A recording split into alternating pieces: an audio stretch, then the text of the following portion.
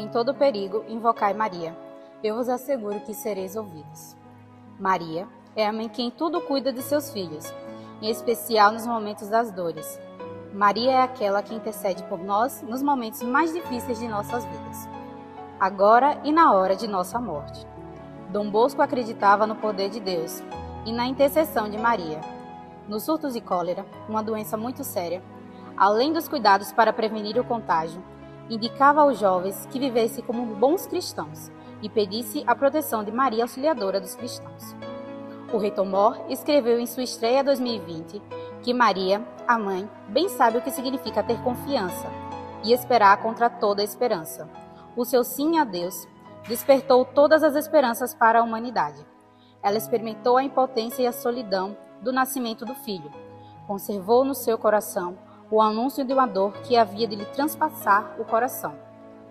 Viveu o sofrimento de ver o filho crucificado, incompreendido, rejeitado, até que, aos pés da cruz, no Calvário, compreendeu que a esperança não seria morta.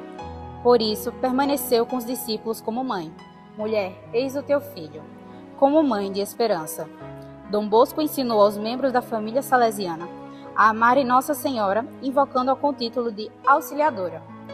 Vários dos seus escritores retratam o amor por Maria Santíssima. Jamais se ouviu dizer no mundo que alguém tenha recorrido com confiança a essa Mãe Celeste sem que não tenha sido prontamente atendido. Foi ela quem tudo fez. Diante de Deus declaro: basta que o jovem entre numa casa salesiana para que a Virgem Santíssima o tome imediatamente debaixo de sua especial proteção. Ó Maria, Virgem poderosa, Tu, grande e ilustre defensora da Igreja. Tu, auxílio maravilhoso dos cristãos. Tu, terrível como exército ordenado em batalha. Tu, que só destruíste toda a heresia em todo o mundo. Nas angústias, nas lutas, nas aflições, defendei-nos do inimigo e na hora da morte acolhei a nossa alma no paraíso. Amém.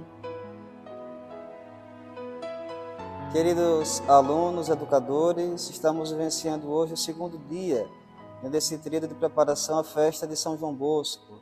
E hoje a gente pôde perceber, através da fala da nossa aluna Mayra, é, a realidade da presença de, de, Maria Santíssima na vida de Dom Bosco, uma presença fundamental que o ajudou a realizar todo o seu caminho vocacional fazendo com que a sua vida se tornasse uma expressão do amor que brota do coração de Deus. Confiemos sempre na proteção, na intercessão da Virgem Maria em nossa vida.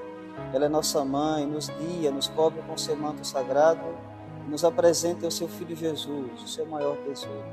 Que a Virgem Santíssima interceda por nós e que a gente possa, com nossa vida também, testemunhar esse amor e essa misericórdia do coração de Deus. Rezemos juntos. Ave Maria, cheia de graça, o Senhor é convosco. Bendita sois vós entre as mulheres, bendito é o fruto do vosso ventre, Jesus. Santa Maria, Mãe de Deus, rogai por nós, pecadores, agora e na hora de nossa morte. Amém. O Senhor esteja convosco, Ele está no meio de nós. Que desça sobre vocês a bênção do Deus Todo-Poderoso, Ele que é Pai, Filho e Espírito Santo. Amém. Nossa Senhora Auxiliadora, rogai por nós. São João Bosco, rogai por nós. Um bom dia a todos e até amanhã, nosso último dia do tríduo em preparação à festa de São João Bosco.